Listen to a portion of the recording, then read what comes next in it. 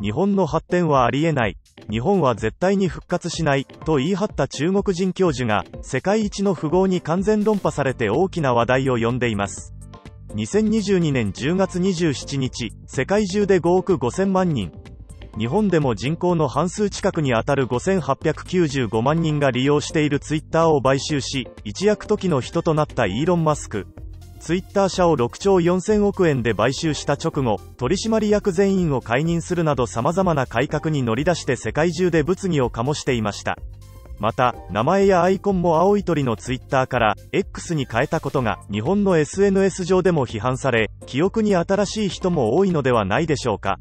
そんな彼は中国の講演会で衝撃的な発言をし、共に登壇していた中国の大学教授と激論を繰り広げたのです。これまで中国への投資を積極的に続け、親中家としても有名だったイーロン。では、彼は中国人教授に対してどのようなことを言ったのでしょうか？今回は、現代を代表する起業家の言葉の真意と、イーロンから見た日本、それに対する海外の反応をご紹介します。ぜひ最後までご覧ください。世界一の起業家イーロン・マスクと日本と中国への評価、2035年までに人類を火星に移住可能にする。人類を救うためにインターネット、エネルギー、宇宙産業で大きな企業を作る。場所によっては自分の車を運転するのが違法になる日が来るだろう。これらは全てイーロンの公の場での発言です。現代の技術では無理だろうと思われることでも彼は本気で取り組もうとしているのです。2019年にアメリカの経済誌、フォーブスが発表したアメリカで最も革新的なリーダーランキングでは、アマゾンの創設者であるジェフ・ベゾスと並んでイーロンは第1位の評価を得ています。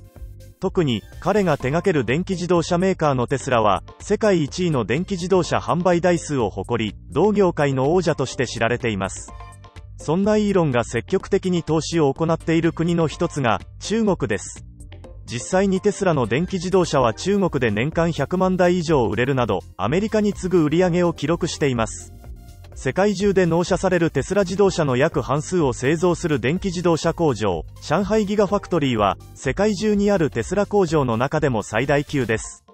ここでは最新鋭の技術が導入され、イーロンも頻繁に視察に訪れているそうです。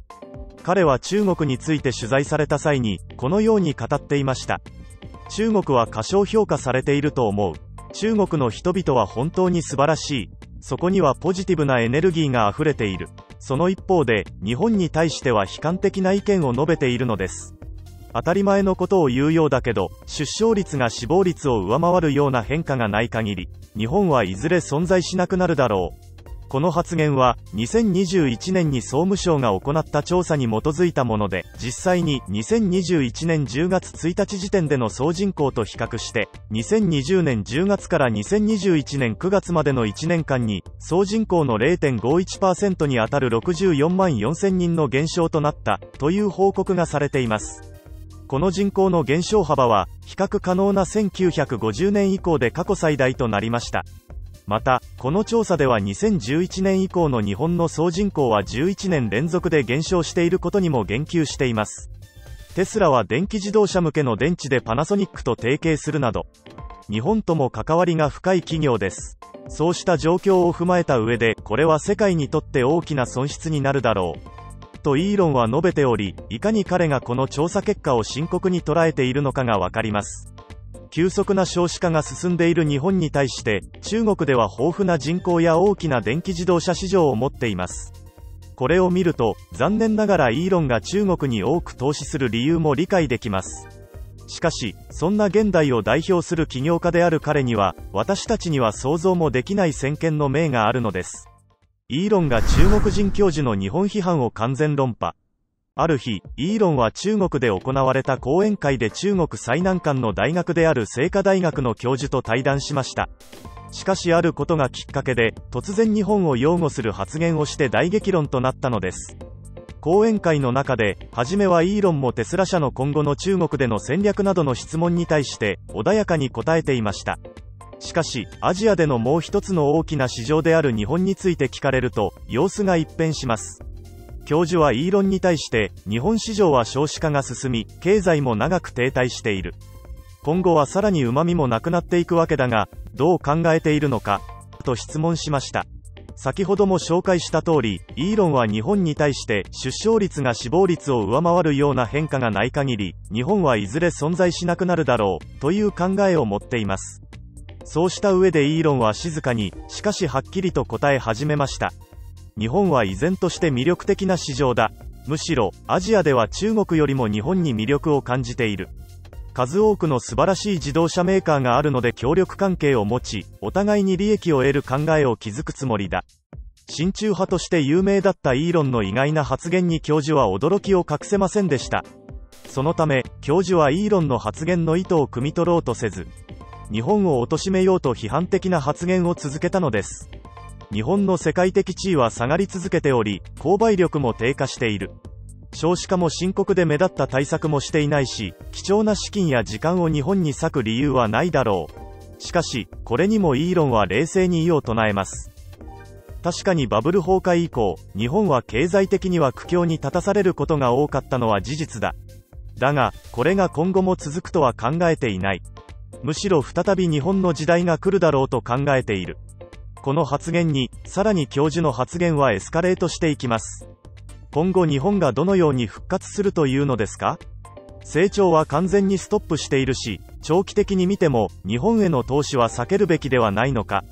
そもそも、日本が中国よりも魅力的な点はどこなんですか？中国は統計的にも経済的にも、日本を上回っていますよ。中国最難関の大学教授である彼は、中国きってのエリートです。もちろん、母国への誇りもあるのでしょう。中国を擁護するために日本を卑下するかのような発言を繰り返す教授に、イーロンは少し困惑した様子を見せました。しかし、それでも冷静に反論したのです。私はそうは思わない。日本は間違いなく復活するし、素晴らしい国だ。イーロン・マスクから見た中国と日本の違い。どう訴えても教授はイーロンが主張を変えないことに憤り、日本に対して攻撃的な発言を続けていました。そんな状況に痺れを切らしたイーロンは、彼を説き伏せるかのように変わらず冷静に語り始めました。確かに、ここしばらくの中国経済は好調で、逆に日本は良くない状況が続いています。しかし中国は急激な成長の歪みが出てきているのではないでしょうか。中国には確かに多くの大富豪がいますが、格差はかなりあります。先進国の中でもその格差は圧倒的で、地方では多くの人がホームレス同然で暮らしていますよね。さらに、イーロンは日本と中国の経済状況に触れて、話を続けます。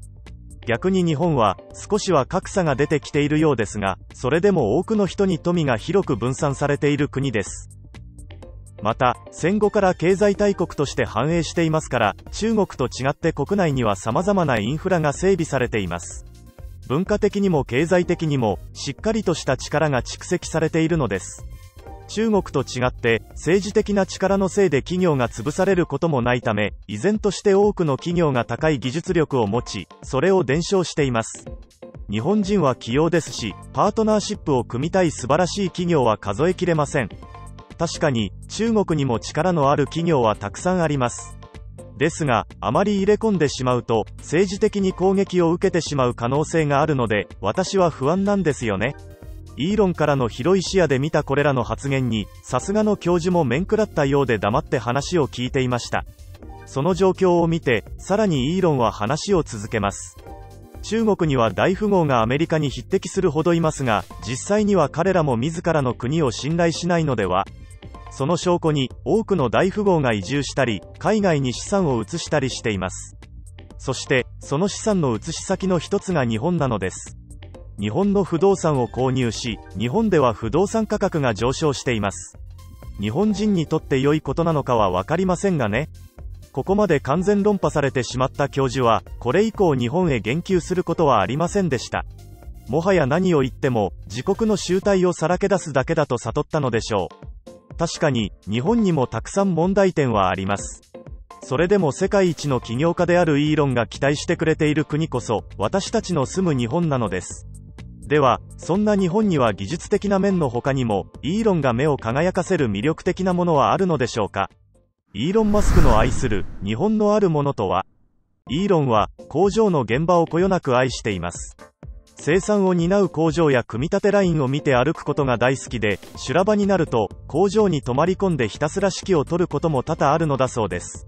そもそも設計から生産を一貫して行うのがテスラの強みです。その理由として、日々、改善のアイデアを反映できるから、というものがあります。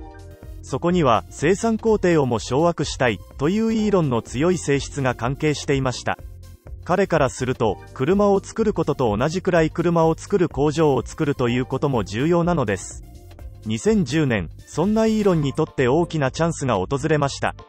トヨタが、かつて GM と共有していたカリフォルニア州フリーモントにある工場を、売りに出したのです。シリコンバレーの外れにあるこの工場は、テスラ本社から車で30分という高立地でした。イーロンはトヨタの豊田昭夫前社長をロサンゼルスの自宅に招き、ロードスターに乗せました。そして、資産価値10億ドルと言われたこともある工場を4200万ドルで買うことに成功します。さらには、5000万ドルの資本参加もトヨタから引き出すことができました。イーロンはこの工場を改修するにあたって、工場のど真ん中に自分の机を置きました。周りの壁はなく、机の下には枕が置いてあり、いつでも泊まれるようにしたのです。また、頻繁に技術者を集めて組み立てラインを見て歩いていました。さらに、彼はテスラの株式を公開しました。テスラは40%以上も値上がりし、2億6600万ドルを調達することができました。これにより、18ヶ月前にはあと一歩で倒産するところだったテスラは、アメリカで一番話題の新会社となったのです。毎日休みなく仕事のことを考えて駆け抜け続けるイーロンのことを、パナソニックの津賀和弘前社長はこのように語っていました。イーロンはですね、打ち合わせで地獄の豪華さながらになったりするし、何をやらかしてくれるか全くわかりません。でも、必要な時にはスイッチを切り替えたみたいに、突然感情も知性も豊かですごく有能な、カリスマ実業家になったりするんです。そんな彼の息抜きの一つが、なんと驚いたことにラーメンだというのです。イーロンはラーメンが大好きで、テスラの工場の一つには2018年12月4日からラーメン自販機が設置されるほどでした。これは自販機というよりも、ラーメンを製造する調理ロボットに近い仕様で、そのクオリティにはイーロンも太鼓判を押しています。イーロン自ら X の公式アカウントで投稿するほど、よっぽどラーメンを食べられたことが嬉しかったのでしょう。また、2014年9月に日本を訪れた彼は、友人と一緒に新宿歌舞伎町でラーメン二郎を堪能したといいます。彼は当時のことについて、まさに私が求めていたもの、と大絶賛した上でこのように語っています。すごく大きなボールにラーメンを持ってくれて、非常に美味しかった。機械に700円くらいを入れて、アサヒビールも飲んだし本当に楽しかった。日本のラーメン以外にも、日本のアニメも大好きだそうで、一時期 SNS の公式アカウントのアイコンを、鋼の錬金術師の主人公であるエドワードにしたことが大変話題になりました。その他にも、新世紀エヴァンゲリオンや広角機動隊、もののけ姫や千と千尋の神隠し、君の名は、デスノートなど、具体的な作品名を多数挙げています。その投稿に反応した日本のネットユーザーからは、このチョイスを選ぶってガチのアニオタだろ。イーロンって実は日本人。日本のアニメのことを日本人よりも知ってるんじゃないかなどの大きな反響がありました。アニメが好きな人たちからすれば非常に親近感の湧くエピソードですし仕事の合間に日本のアニメを見て息抜きをしてくれているのはとても嬉しいですよね。さらに日本のお笑いも大好きなのだそうです。2014年に日本のバラエティ番組に出演した際には共演したダチョウ倶楽部をはじめとした芸人のネタに満面の笑みを見せてくれましたまた、日本がサッカーワールドカップのスペイン戦で勝利した際には、日本へのお祝いメッセージをツイッターに投稿して、その親日ぶりが注目されました。その他にも、X に改名前のツイッター時代には有名な青い鳥のロゴを突然、暗号通貨同時コインのキャラクターにもなっている柴犬のカボスに変更しました。このカボスは、千葉県佐倉市で暮らす17歳、2008年11月に保護センターに持ち込まれて殺処分される寸前で、飼い主のカボスママさんに命を救われたのだといいます。このように、イーロンは日本のことを大切に思いつつ、いつも私たちに驚きを与えてくれるのです。海外の反応。今回のことに対して、海外のネットユーザーから多数コメントが寄せられましたので、その一部をご紹介します。私もイーロンが日本のお笑い番組に出演したのを SNS で見たことがあります。私は日本語がわかりませんでしたが、有名なコメディアンのギャグを生で見て、お腹を抱えて大口を開けて笑っているイーロンを見ると本当に楽しそうだなと私まで楽しくなりました。日本は街を歩くだけでも新しい発見があったり良い意味で面白い国だと思います。そんな日本が彼にとって良い刺激になっているのですね。彼の言う通り、日本には昔ながらの職人気質が大々継承されている企業が多く存在しているよね。それが一番、企業戦略的にはかなり有利だと思います。悔しいけど、国際的な航空機部品や精密機器分野では、日本は欠かせない存在です。私はドイツ在住ですが、外から見ると日本はとても魅力的です。もっと日本とイーロンのつながりについて詳しく紹介しているものがあれば良いのになって思っていました。イーロンも言っているように、日本は苦難には合うでしょうが、日本がなくなることはありません。日本人は繊細で相手のことをよく考えてくれる人が多いですが、そんなことでくたばるほどやわではないと信じています。ドイツから日本がもっと良い国になるように願っています。中国の教授が何も言い返さなくなったのって、イーロンが何も分かっていないなって思ったからじゃないの。俺は中国人だが、教授の言っていることの方が的確だと思っている。イーロンは立場上日本のことを悪く言えなかっただけだろ。確かに、経済や出生率については今後の日本の政治に期待するしかないですね。でも、日本人も日本という国も私は大好きです。彼と同じように、私もラーメンとアニメが大好きでよく日本からラーメンを取り寄せています。それに本場のアニメートに行くために日本語も勉強しています。もっともっと日本が発展していくように応援しています。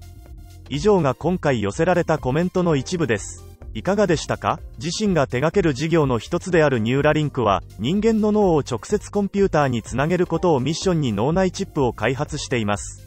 去年の初夏には脳チップの人体実験許可が出て、ついに2024年1月30日、イーロン自身が手術をしたことで大きな話題となりました。